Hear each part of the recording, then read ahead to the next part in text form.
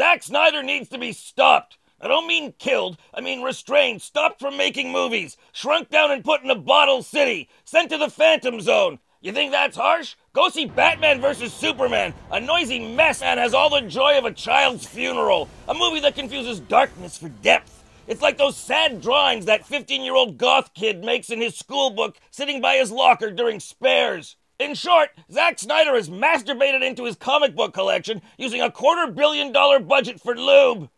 And it's not like it's the first time he's done this. His first comic book movie, The 300, was a joyless half hour story stretched to 90 minutes through slow mo effects. Then The Watchmen, where he took a good comic book series and wiped his ass with it. Sucker Punch? That's what it felt like to those of us who paid to see it. A relentlessly dreary full course meal of rape with rape sauce and a side dish of rape with a rape cake for dessert. And Man of Steel? Snyder managed to identify everything people love about Superman and remove it, leaving nothing but massive destruction and the whiny angst of a pretentious asshole. His comments after Man of Steel got beaten up by fans? I was surprised with the fervency of the defense of the concept of Superman. I feel like they were taking it personally that I was trying to grow up their character. No shit, Sherlock. First of all, Jesus aside, everyone who's grown up in North America has a personal relationship with Superman. He's been there with us growing up through underoos, lunchboxes, bed sheets, Halloween costumes, breakfast cereals, neckties, cufflinks, yarmulkes, brawn panties, boxers, briefs, banana hammocks, wedding parties, wedding cake, honeymoon gear, and now it looks like coffins.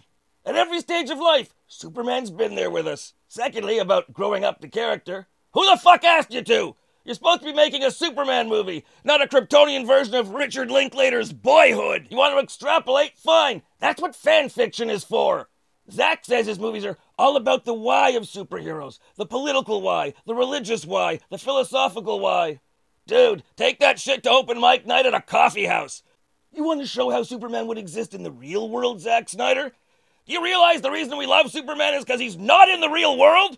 Fuck the real world. I live in the real world. I don't want to pay $15 for more of it.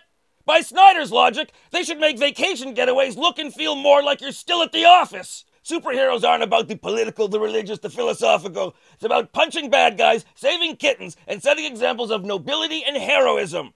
That's a problem with guys like Snyder. They always think they can make things better. They're smarter than everyone, more talented than everyone, little special snowflakes going to improve things where lesser lights failed to achieve greatness. Except Superman's been around for 75 years, the longest continuously published character in history, and it needs Zack Snyder to improve it? Self indulgent asshole.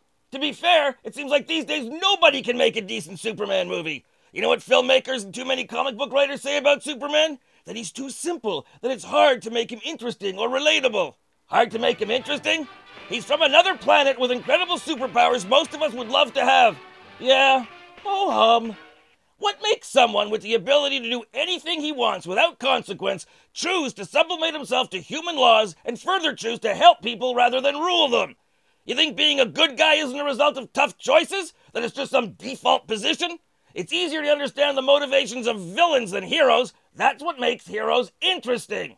His life is too perfect? The man carries around a sense of responsibility for the entire world. He has to literally become someone else to have any friends or a semblance of a personal life. Yeah, that's ideal. Not relatable? Are you an immigrant or descended from immigrants? Have you ever felt like a fish out of water? And are you not familiar with the experience of presenting a different you at work than you do outside of work? Have you ever been the smartest or best looking or most athletic in a crowd and tried to downplay it or mask it so you could talk with people on a peer level without making them feel inferior? Christ, that's me every day. Ever wanted a temporary break from all your worldly responsibilities? If you can relate to any of that, you can relate to Superman. Also, this is a guy who has to constantly be aware of how much strength he's using. Calibrate just the right amount of pressure to use on a doorknob, punch a stapler, press an elevator button, open a can of soda. He has to concentrate all the time to tune out the sounds and voices he can hear from miles away. He has to constantly be on pins and needles if he wants to maintain a personal life. All of these things make Superman a very complex character in the hands of a good writer. The problem isn't Superman, it's shitty writers. Every time I read another writer complaining that Superman is boring, I think, because you're a shitty writer.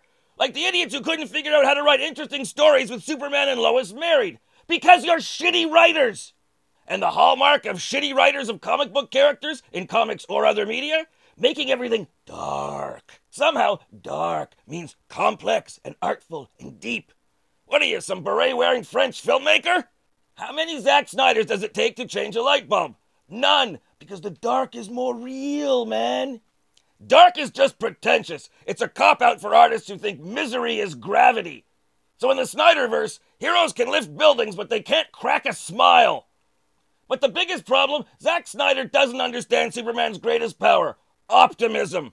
Guys like Snyder think optimists are saps, simpletons, Boy Scouts. Got news for you pessimism is a cop out. Optimism is harder than pessimism. You think it's easy for a superhero who sees disasters and misery and suffering every day to stay hopeful?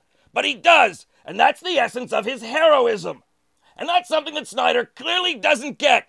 We want to see Superman triumph over adversity, not get beaten like a rented mule by Lego Batman. And that's why Zack Snyder has to be stopped before he throws his bucket of shit over the Justice League, too.